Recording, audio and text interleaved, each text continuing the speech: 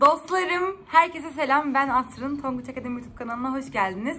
Bugün sizlere 5 günde bitirebileceğiniz kitaplar önereceğim. Umarım beğenirsiniz. O zaman videomuza başlayalım.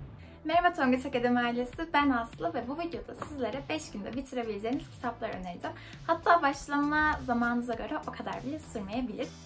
Herkese selam arkadaşlar. Ben Beyza Bircan. Bugün Tonguç Akademi kanalıyla birlikte sizler için 5 günde bitirebileceğiniz kitaplar önereceğiz. Öncelikle ilk kitabım Nagihan Kabal'ın yazmış olduğu Dolunay'da Açan Çiçek kitabı. Şöyle parlamasın. Ee, bu kitapta iki, e, bir tane ikizler var. İşte Dolunay ve Çiçek adında. İkisi normalde e, annesi babası vefat ettikten sonra yetimhaneye veriliyor. Ama yetimhaneden, yetimhaneye verildikten sonra Dolunay zengin bir aile tarafından e, evlat edinildikten sonra Çiçek yetimhanede kalıyor ve yetimhaneden çıkıp daha zorlu, daha dişli bir hayata adım atıyor. Yani böyle kendi tırnaklarıyla kazıyarak bir yerlere geliyor. Çiçek ise e, tam ter, e, Doğ- Dolunay ise tam tersi bir şekilde zengin ailesinin prensesi olarak yetişiyor ve ikisinin yıllar sonra birbirini bulup hayatlarını değiştirmesiyle, ikisinin bambaşka hayatları yaşamaya çalışmasıyla e, başa çıkmasını okuyoruz. Gerçekten çok güzel bir kitap. Bana çok fazla şey katan bir kitaptı. Kesinlikle size de tavsiye ederim. Birinci olarak önereceğim kitap Kırılgan Şeylerin Bilimi kitabı. Bu kitaptaki ana karakterimiz Natalie'nin annesi bir bitki bilimci ve kendisi depresyonda. Natalie'nin fen bilimleri öğretmeni de onu bir yumurta atma yarışmasına katılmaya teşvik ediyor ve Natalie de bu yarışmanın ödülüyle annesini tekrar diğer günlerindeki gibi hissettirebileceğini umuyor. Biz de bu kitapta Natalie'nin arkadaşlarıyla olan grup çalışmasını, annesinin mental durumunun ona neler hissettirdiğini, babasıyla olan ilişkisini ve yaptığı bu deneyin aşamalarını okuyoruz. Bu kitaptaki bölümler deney aşamalarıyla isimlendirilmişti ve bence bu kitabın oldukça özgün özelliklerinden bir tanesiydi. Onun haricinde bazı fikirler bu şekilde resmedilmişti.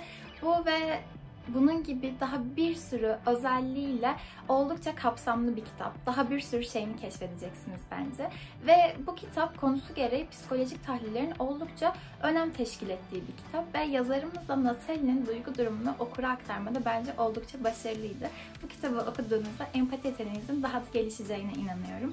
İlk kitabımız Harry Potter ve Felsefe Taşı. Daha doğrusu Harry Potter serisi. Harry Potter serisinin ilk 3 kitabı e, serinin diğer kitaplarından biraz daha okunabilir oluyor. Hem de seriyi tanımaya yeni yeni başlıyoruz bu 3 kitapla birlikte. Harry Potter'ın konusunu bilmeyen var mıdır bilmiyorum ama ben yine de sizler için kısa bir özet geçeyim. Harry Potter'da Harry adlı, Harry Potter adlı küçük bir karakterimiz var. Bu çocuk 11 yaşına bastığında bir baykuşla birlikte ona bir mektup geliyor. E, Hogwarts Büyücülük ve Cadılık Okulu'na kabul edildiğini gösteren bir mektup. Harry bin bir zorluk altında bu okula gidiyor ve orada yeni insanlarla yeni bir dünya ile karşılaşıyor. Hiç bilmediği bu dünyada aslında bir büyücü olduğunu öğreniyor ve çok meşhur bir büyücü ailesinden geldiğini öğreniyor. Daha sonra da ailesinin ölümünün ardındaki gerçekleri öğreniyor. Bu kitapta aile ilişkileri, arkadaşlık ilişkileri gerçekten çok güzel ve çok tatlı bir şekilde anlatılıyor. Fantastik bilim kurgu böyle değişik şeyler okumayı sevenler için ideal bir kitap bence. Okuduğunuzda seveceğinize kesinlikle emin olduğum kitaplardan bir tanesi Harry Potter. Sonraki kitabım Ay Çöreği. Ay Çöreği de çok güzel bir mahalle kurgusu. Gerçekten böyle o kadar severek, o kadar keyif alarak okuyacaksınız ki sizi böyle sımsıcak hissettirecek, bütün ruh halinizi dengeleyecek bir kitap.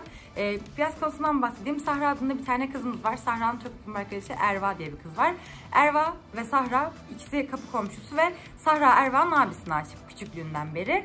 Ee, ve işte kendisinin ona platonik aşık olduğunu düşündüğü için sürekli kendini geri çekiyor ve bir şekilde geri duruyor. Erva ve Sahra üniversite sınavına girdikten sonra Sahra bir tıp fakültesini kazanıp tıp fakültesine gidiyor ve orada Emir adında bir çocukla tanışıyor. Ardından Sahra'nın hayatı 365 derece değişiyor ve bir şekilde kendini bulmasını, kendi hayatında bir şeyler yoluna koymasını okuyoruz biz de. Gerçekten çok güzel, çok fazla şey katacak bir kitaplı, çok tatlı. Kesinlikle tavsiye ediyorum. Bir diğer önereceğim kitap da benim çocukken kısaltılmışını okudum ve bu uzun baskısını okuduğumda da tekrar hayran oldum Gizli Bahçe kitabı. Bu kitapta Victoria döneminin klasikleşmiş tiplerinden yetim bir çocuğu okuyoruz. Ancak diğer kitaplarda alıştığımız gibi uysal bir karakter değil.